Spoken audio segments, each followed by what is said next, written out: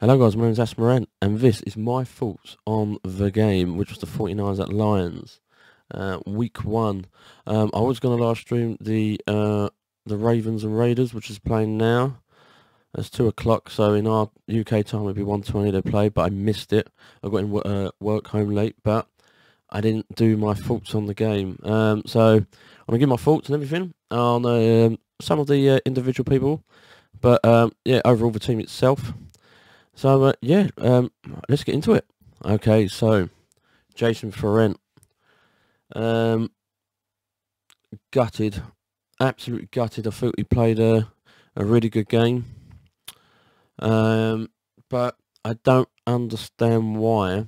Bearing in mind this guy's got history of injuries, why they made him play the Lions. he could have used Lenoir, uh, Mosley, Josh Norman he could have used individual people for that play. Um, but no, they thought, ah, oh, he can do it. We'll have no problems. And my God, were they wrong. And I've just found out news now as well on the um, the injury list that's just coming for every single team. I've just found out as well, uh, San Francisco 49ers coach Shanahan announced that running back Raheem Mostert uh, knee will be placed on injury reserved and could return in about eight weeks. Shanahan also confirmed that cornerback Jason Verrett ACL, which is confirmed he's torn his ACL, will miss the rest of the season. So he ain't playing at all. Um, linebacker Dre Kinlaw uh, groin injury is considered day to day. Great. So, not only does it get worse, that we've got, is it Dre Kinlaw? No, I got it wrong. Dre, Dre, Dre Kinlaw ain't doing it. It's another bloke. And I think they've hired someone. One minute. Uh, the 49 signed CB Dre Kirkpatrick. Um, it says here. Uh, yep, the 49ers have signed uh, Drake uh, Patrick. Um, he's 31 years of age. He played with the Cincinnati Bengals after joining the uh, uh, Cardinals at 2020 campaign. He played 14 games with 11 starts last year. So, that's him. Um, 14 games, 11 starts decent, but against the Eagles, yeah, you need something for the Eagles. They were considering putting uh, Richard Sherman on. Yep, they were considering putting Sherman on um, as uh, an option, maybe, to bring him back. I mean, a lot of people were uh, are happy, and a lot of people are not happy. But that's it, you know. Know you've signed a cornerback, Fitzpatrick. Um, he might do well, he might not. We'll find out against the Eagles. Eagles defense ain't too bad. I know week one they've had a good game. Defense is not too bad. Their offense is really is is is really good. So yeah, hopefully uh, will be great on week two. Um, but yeah, Jason Ferrant, why put him up against the Lions? A lot of people say Goff uh, uh, quarterback for Lions, a lot of people say ah, it's, it's, it's Goff. It's only Detroit Lions, he'll be fine. Yeah, but it's Goff. Like his passing attack was amazing, and as you saw on the fourth quarter, the Lions were catching up quick. They weren't stupid. They caught up quick. Got the touchdown. The field, like the onside kick as well. Kittle you know, missed that opportunity and stuff like that. You know what I mean? So Lions weren't thick. Lions were very strong through this game, and they did really well. I think the Lions, even though they lost, they did really well against us in the fourth quarter. But why put Jason Ferrant on against the Lions? I would have put him on against the Lions. Eagles, maybe. Packers, yes. Seahawks, yes. Cardinals, yes but not the Lions. But there you go. Um, hope uh, hope Jason Ferrant sadly has a nice season, just resting it up. I mean, gutted as him. We ain't got him. He's out the rest of the season, but I hope he gets better. And when we've got him next year, and hopefully they treat him right, get him out there right for the games. And um, yeah, I wish him all the best. Let's move on to the next one. So this guy, Jimmy Garoppolo. What can we say about Jimmy Garoppolo? Well, let's have a think. Uh, day one of training camp, Carl Shanahan said he looks great, healthiest I've ever seen. He looks the best, played great I've ever seen. And so many people that went down there to watch him, like the press um, and everything else, you know, who are um, who had a 49ers press and stuff like that, was saying, um, yeah, he ain't changed a bit. Did a decent few short passes, bullet passes, medium-sized passes, long-arms passes. Yeah, did did all right. Some were tackled away, some were intercepted. He got sacked, he's got this, and I'm thinking, oh shit, we've got the same Jimmy G from last year. Sorry, Jimmy, I was wrong. Um, he played brilliantly. And we can all moan about the first snap when it fumbled. Okay, fine. Have a pop. Say this, say that. First snap, he fumbled. But look what they've done after the first snap. They played really well. Jimmy G, really well. So what, he fumbled the first play. For that, the whole tie game, man, and I was shocked. He played really, really well, so fair play to him. Um, but, but, you know, even commentators from I know, Good Morning America or Colin Hurd and you know you know like all these commentators and pundits and all these guys saying on there on the sideline and everything. You know, he ain't gonna do well. That Jimmy G is twenty the year twenty twenty Jimmy G. He's gonna fail. I don't think it's gonna work. Proved you wrong. They proved he proved all of them wrong. Week one, he did really well. Because you've got to take into consider this is you know like the predictions i did a predictions video so check my channel out for that you predict you predict on these games and it's all going to be wrong anyway you don't know you really don't know 49ers could get to a wild card could get to a playoffs. You don't know. But I wouldn't predict myself that. I take every game step by step. Every game is a step-by-step win or loss. You have to analyse it, you have to look at it, and then I'll give you like my opinions and so on, like um, and everyone else with their own opinions. That game was phenomenal, but the fourth quarter, it was shady. Same as the first quarter, really. The first quarter, the first, I don't know, six minutes, seven minutes was shady but we pulled out, and we did well in the first game because week one of the game you want to do, you, you want to be number, you want to be, you have, you want one and zero, oh. and we got one and zero. Oh. So yeah, Jimmy G played phenomenal as a quarterback. Fair play, well done to him.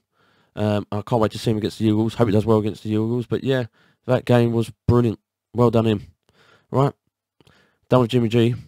Let's get our QB two out. Okay, so Trey Lance. What do we say, think about how Trey Lance play? Um, he looks good. Looks good in a red shirt, in a red jersey. He looks really, really well. And played 50-50. So his touchdown passes were very good. He did a good touchdown pass. He passed very well. Did a decent touchdown pass. That was very good. Uh, his pass play was, you know, really well, which is what you want. Running play didn't work out, did it? Like he, like they read everything that he, like he was going to do easy. But I expected something not to go right for Trey Lance or yet alone a quarterback itself. Because Jimmy G, he played well, but sometimes he had the odd mistake here and there. But he played really, really, really well for someone that we all thought was going to fail. Trey Lance, he played 50-50 for me. His pass play was great. His running, his running was was terrible. He ran a few himself. But there you go. That's just that.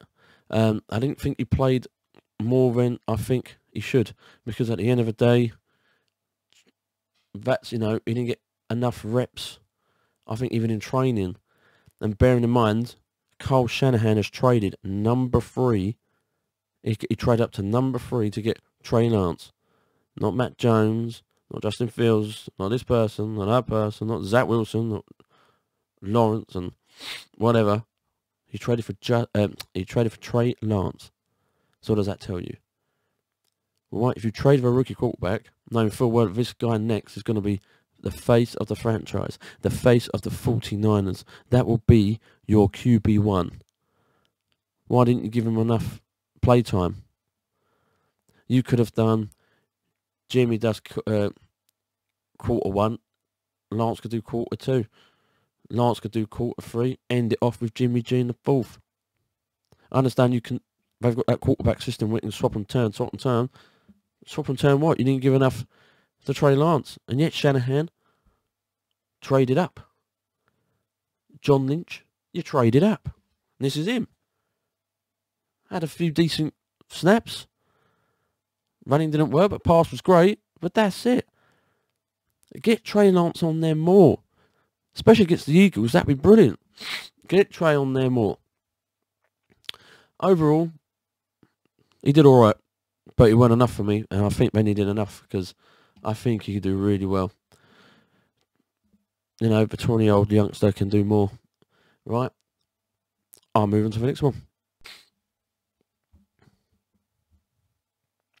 Okay, so this is a short one, but Eli Mitchell. What do I think of him and like how he did? Well, he played phenomenal. Quick on his feet. He was very, very fast. Quick on his feet. Very aggressive. You know, against the Lions. Pushed against the players. Fair play. Did really, really, really well uh, phenomenal. And I think, if I'm not mistaken, I think he did better than Hasty a little bit. He got more decent time on him than he did with Hasty, which is fine because you want to put your, you know, your um, your trust into someone. Hasty and Mitchell are it, but it was like they had more faith in Mitchell than they did Hasty because Mitchell did a really, really good. Hasty, he was good, but not great. That's why I think the trust was there more on him than it was him because he he pumped it. That's why I ain't got really much to say on Hasty. But Hasty will probably do better with the Eagles, same with Mitchell, but we'll find out. But yeah, um, very fast, very good, very aggressive. Played a hell of a game, so well done to him. Um, now the next one. Overall, what did I think of the Lions? Um, I thought we'll have a decent win. Um, but not as much as everyone thought with the chat. A lot of people thought it would be like a 30 something and no, 30 something and 6, a 40 something and 10. You know, that's why I don't predict because it was nowhere near. Because we were leading away brilliantly. Really, really well. And I thought, well, here again at line, so not going to catch up this time soon. Jason Ferrant gets injured. Straight after that, touchdowns come out, extra points, onside kick. Kittle messed that up, caught on that. You know, and the 49ers had the ball. Deebo Samuel's got it, run in the middle, and I think the Lions defense, is it Flowers or something like that? gets, I know, he's got the ball, gets it out of his hands, and then go straight back to the Lions. The Lions pushed and pushed and pushed and attacked and attacked. That's how a team should be. That's how a team should be. regardless. That's how it should be. And I think they did phenomenal. Well done to the Lions. Yep, they lost. And yet, I'm not praising the Lions, you know. I'm, a 49ers man all the way through. But, you know, 41 and 33, you've got to be on the laugh. We were we were way storming ahead, and they came back, and they played really well in the fourth quarter. But it's mental how one guy, like I said, Jason Ferentz gets injured, and then your whole game just changes. One person can change your whole game, but they never stopped. They kept pushing, and they did. They pushed really well. Um, but it was a 49ers win at the end of the day. Um, but one of the lines for the pushing for the attack because we were on our feet then. Like as soon as they come back, we were on our toes, and yet everyone has these predicaments that, oh yeah, yeah, yeah, yeah, 49ers are good contenders for the playoffs, for the Super Bowl. We're good contenders. After that, we might have 17 weeks or 16 now. Are You sure? Well, we'll find out. Um, yeah, that's it on that. Overall, the game. Offense, great. Defense. After the fourth quarter, to be fair, they were great. We've got the game. We got the win. You want to go out on a high in your first week, and you did. 41 of 32, 41 33, whatever. We did it. Um, but we need to keep pushing. Now that we've got a few injured players, I don't care who they bring in, what they've got to do we have to win the next game as we as we possibly can. Um, but yeah, that's it. Thank you very much for the 42 subscribers as well. Um, very humble and fortunate that you guys subscribed. Leave a comment to what you think about this video on the comments that I've made. And um, yeah, guys, I'll be live streaming uh, 49ers at Eagles. I'll be streaming that as well Sunday, so don't miss that. Um, other than that, that's it. Thank you very much for watching, guys, and I'll see you guys uh, on the next video.